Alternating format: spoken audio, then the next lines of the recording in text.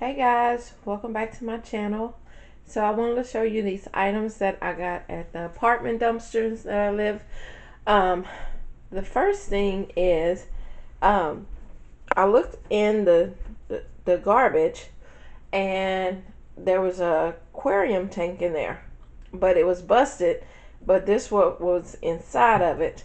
So here is some mouse and rat food. It's sealed it's not even open. They have, I'm thinking they used it maybe for hamsters. Hopefully it wasn't little mice, whatever. But I did wash up the bottle and everything and the spout. And then um, there was a hamster ball. Now this was brand new.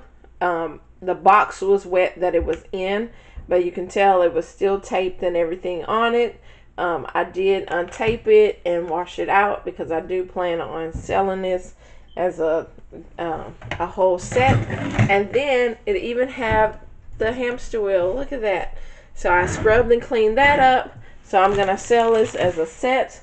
But I just thought that was neat. I found that this morning. And um, the other things that I found at the dumpster. That was these items. So these are some Christmas bulbs. These are plastic they work, guys. It is so cute. And then it even came with a spare bulb in case one of these um, mess up. But this is going to be cute decoration to have somewhere either in the house or in one of my girls' rooms.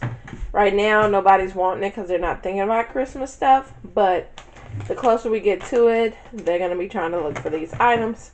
so that, and then we have this little unicorn, which right now he looks brown. He's supposed to be white. So I am going to put some shout out on it and some and bleach him and see if I can make him a little cute. But he's one of those pillow pets. Let me see. I'll unstick that. See, he's one of the cute little pillow pets. And then we have this little cute donut right here. Uh, it just needs to be washed also.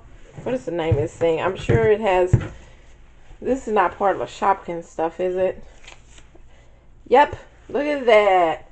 I don't even have little ones, and I figured it would be something Shopkins. So, so one of my nieces probably like that, um, or I will sell it because my kids are not going to play with it or keep it. So anyway, those are the items that I found at the apartment dumpsters.